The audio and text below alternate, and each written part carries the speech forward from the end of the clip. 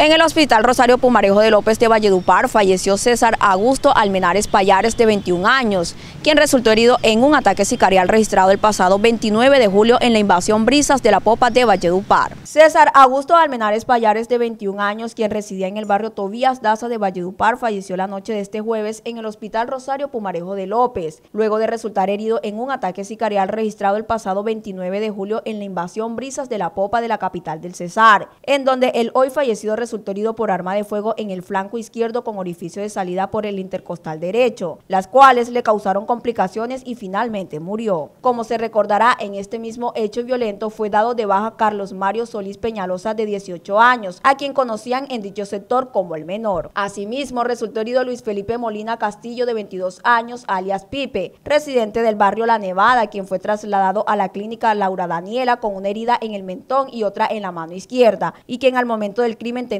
pocos días de haber salido de la permanente central. La tercera persona lesionada fue identificada como Jairo José González Flores, de 21 años, con residencia en la invasión Brisas de la Popa, quien presentó heridas en la pierna izquierda con orificio de salida en el glúteo. La policía indicó que el caso presuntamente está orientado con el consumo y venta de estupefacientes y también por el delito de hurto. En el grupo empresarial Carpio, conformado por Carpio Firma de Abogados y Carpio Bienes Raíces, Contamos con un equipo capacitado para brindar los más eficientes servicios de asesorías, consultoría, interventoría en el área legal, así como el área de la administración de inmuebles.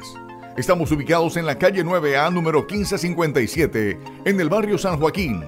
Contáctanos al 316-666-1017.